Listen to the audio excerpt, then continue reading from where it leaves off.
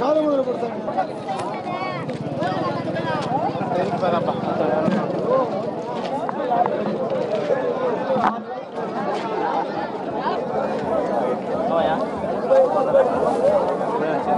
ఇప్పుడు పంజాబ్ పంజాబ్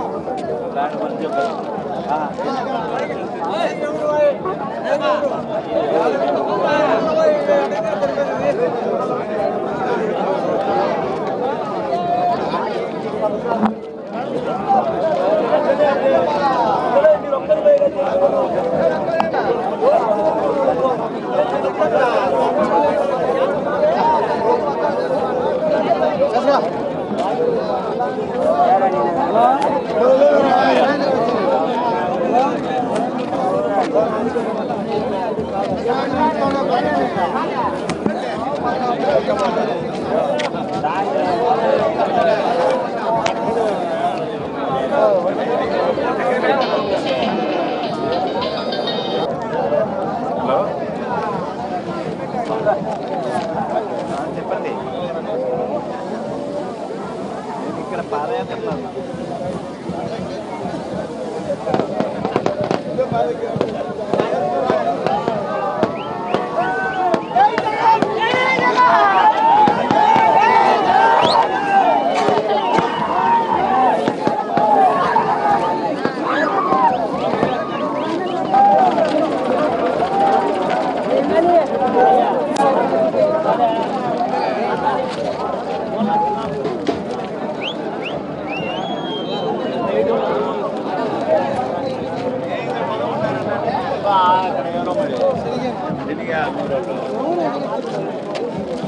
మన అంటే ఇంకా ఇద్దరు ఉన్నారు మనం ఒక యాభై ఎకరాలు పైన ఉంది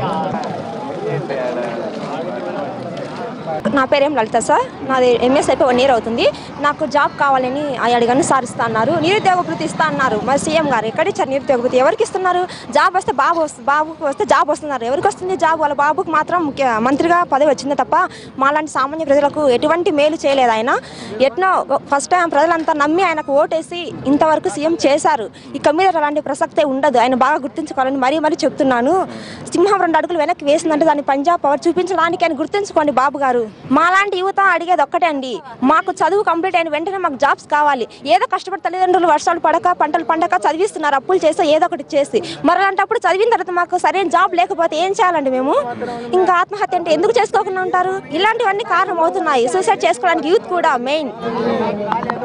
మీరు కూడా జగన్మోహన్ రెడ్డిని కలిశారు కదా మీ సమస్యలు ఏం చెప్పారు?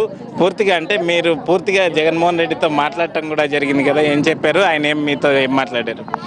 మా స్కూల్కి ఏదో ఒకటి చేయాలని అనుకున్నాం. చేయాలని మేము కోరుకున్నాం. జగన్మోహన్ రెడ్డి గారు. సరే చేస్తామని పార్టీ వల్ల మాకు ఎంతో కష్టంగా ఉంది. రెండు వేల పంతొమ్మిదిలో మనలే రాజ్యం అని కూడా చెప్పాం జగన్మోహన్ రెడ్డి గారికి. మా స్కూల్కి గుడ్లు పంపించారు పిల్లలకి. అవి చాలా చెడిపోయాయి. ఆ, మంచి గుడ్లు రాలేదు. అందుకనే జగన్మోహన్ రెడ్డి గారికి మా సమస్యలు చెప్పుకున్నాం. ధనలక్ష్మి నా పేరు. ఇప్పుడు అందరికీ వాళ్ళ పార్టీ వర్గాన్ని మాత్రమే అన్ని చేసుకుంటున్నారు. ఏం ఇక్కడ ఏం చేయలేదు. కానీ రూములు లేకుండా గనికి పక్కల ఇండ్లల్లో ఉండడానికి కానీ అద్దెలకు కానీ ఇండ్లు లేవు కాబట్టి ఎట్టనో వాళ్ళతో అనిపించుకోనో ఎట్టనో పోతున్నారు. ఇప్పుడు రూములు ఏర్పాటంగా వాళ్ళకు మాత్రమే అన్ని చేసుకుంటున్నారు. మనకు మాత్రము ఒక్కటి చేయలేదు. ఆ పార్టీ వర్గంగానే పోతున్నారు. ఒక్కటని లేదు. వచ్చినా కానీ గనికి ఇప్పుడు లెటిన్ బిల్లులందు వచ్చినా గనికి వర్గం కాదురా అని ఇళ్ళ కాడికి వచ్చిన వాళ్ళని కానీ తొడకపోతున్నారు. ఏమ్మా గతంలో డ్వాక్రా మహిళలకు సంబంధించి రాజశేఖర రెడ్డి పీరియడ్లో ఎలా ఉంది? ఆ తర్వాత చంద్రబాబు నాయుడు డ్వాక్రా సంఘాలకు సంబంధించి మేనిఫెస్టోలో ఇచ్చిన హామీలు అమలు జరుగుతున్నాయి? మీరు జగన్మోహన్ రెడ్డిని కలిసి ఏం చెప్పారు? మీ పరిస్థితి గ్రామాల్లో మహిళల పరిస్థితి ఎలా ఉంది? డాక్రా రుణమాఫీ అన్నాడు సార్ బేసరతుగా అన్నాడు. ఏం చేయలేదు. మొత్తం అంటే మీ పుస్తలు బ్యాంకుల్లో తాకట్టు పెట్టిన పుస్తలన్నీ కూడా విడిపించే బాధ్యత నాదని చెప్పారు కదా అవన్నీ జరిగినాయా? మీరు ఏమనుకుంటున్నారు? ఏమీ రాలేదు సార్ ఏమి రాలేదు. డాక్రా రుణమాఫీ అన్నాడు పదివేలు పదివేలు అయితే ఒకసారి మూడు వేలు ఒకసారి మూడు వేలు వేసినాడు. మేము ఇచ్చింది బేసరతుగా మాఫీ అంటే మేము వడ్డీలు కట్టలేదు. వడ్డీలు కట్టాలకు అంతా చాలా కష్టపడినారు సార్ అంతా. వడ్డీలకు సార్లు వాళ్ళు ఇచ్చిన డబ్బులు పావుల వడ్డీలు కానీ ఏది కానీ రుణమాఫీ కానీ రుణమాఫీ రెండు సార్లు వేస్తే ఇంకా మూడు ఐదు విడతలు అన్నాడు. ఐదు విడతలు అంటే ఇంకా మూడు విడతలు ఎప్పుడు వచ్చాడు? మూడు విడతల్లో తనకు టైం లేదు.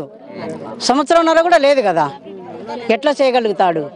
ఏమన్నా నువ్వు జగన్మోహన్ రెడ్డిని కలిసి ఏం చెప్పడం జరిగింది? మొత్తం కూడా యువత ఉద్యోగ అవకాశాలు లేని ఇబ్బందులన్నీ కూడా వైఎస్ జగన్ దృష్టికి తీసుకెళ్తున్నట్లుగా తెలుస్తుంది కదా. మీకు ఎలాంటి ఇబ్బందులు ఉన్నాయి? మీరేం చెప్తారు? నేను ఇప్పుడు నా పేరు శిరీష నేను డిగ్రీ సెకండ్ ఇయర్ చదువుతున్నాను. రాబోయే కాలంలో మేము చదువు వైపు చేసుకొని ఇంటి దగ్గర ఉన్నప్పుడు మాకు తొందరగా జాబ్ రావాలి మేము ఏదో ఒక పరిస్థితిలో ఉండాలి అని మేము అని జగన్మోహన్ రెడ్డి సార్ గారిని అడిగాము.